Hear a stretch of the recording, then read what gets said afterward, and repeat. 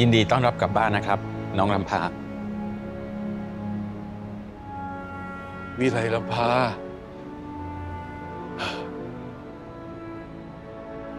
คุณย่าอ่อนมาแล้วค่ะ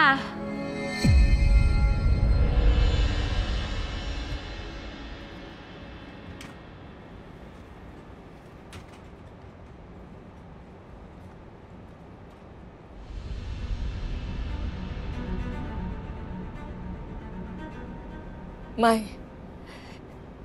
ฉันจะไม่ทำแบบนี้อีก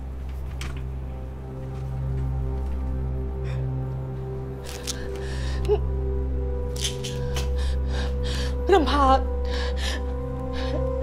ลำลำพาไม่ ไม่ลุงออกไปก่อนฉันจะคุยกับลำพาแต่คุณท่านคะ มันตามคำสั่ง แต่คุณคุณสั่งไว้ว่า ออกไป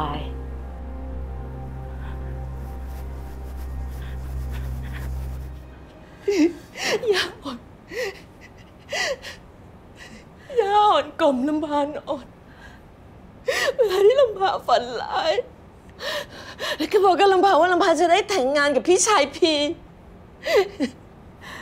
จะได้อยู่ในวังนี้กับย่าอ่อนอยู่ในวังนี้กับย่าอ่อนตลอดไป Ya, Pak.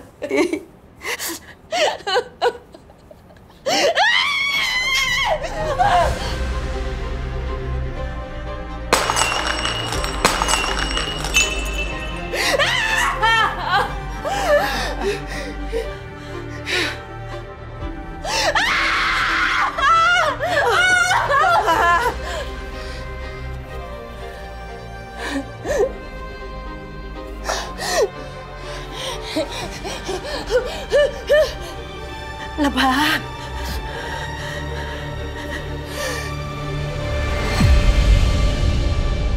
พอมีคนเข้ามาแทนที่ย่าอ่อนก็ทิ้งลำพางอะไม่เคยเปิดโอกาสให้ลำพาได้อธิบายเลยว่าทำไมทำไมลำพาถึงต้องทำแบบนั้นน่ะลำพาย่าอ่อนล่ะรักลำพาไหมฮะรัก ย่ารักลำพาย่าขอโทษ